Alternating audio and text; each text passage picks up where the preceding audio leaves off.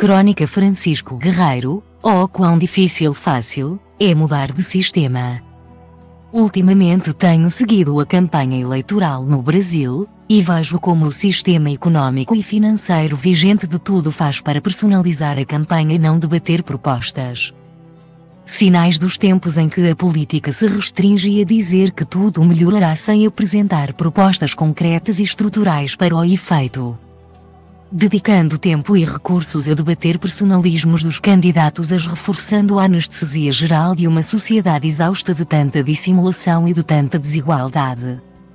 Neste sentido surpreende-me o modo vil e despolitizado com que têm atacado o candidato trabalhista Ciro Gomes. E é algo que me fez relacionar com o seu trabalho estoico, sobretudo nestas eleições. Foi quando o mesmo frisou que há mais de 40 dias não está fisicamente com o seu filho de 6 anos. Mas mesmo assim, compreendendo que também está em risco o seu futuro, continuou na reta final da campanha a partilhar o seu programa. A apresentar soluções para os problemas existenciais do Brasil e a apontar o dedo às incoerências dos líderes das pesquisas, Lula e Bolsonaro.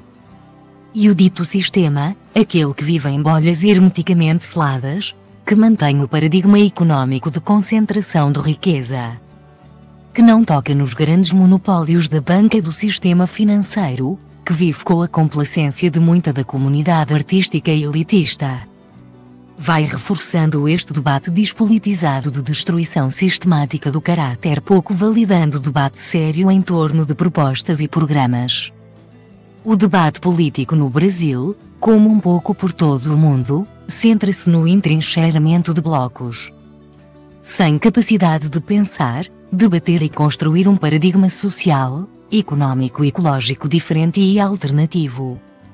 Mas para quem acredita, como eu, Ciro e muitos outros, que a democracia pode ser bem mais que a cedência ao sistema vigente que falta cumprir o melhor da humanidade, e que não só é possível sonhar como criar este mundo novo. O caminho, apesar de tortuoso, é impertrivelmente necessário.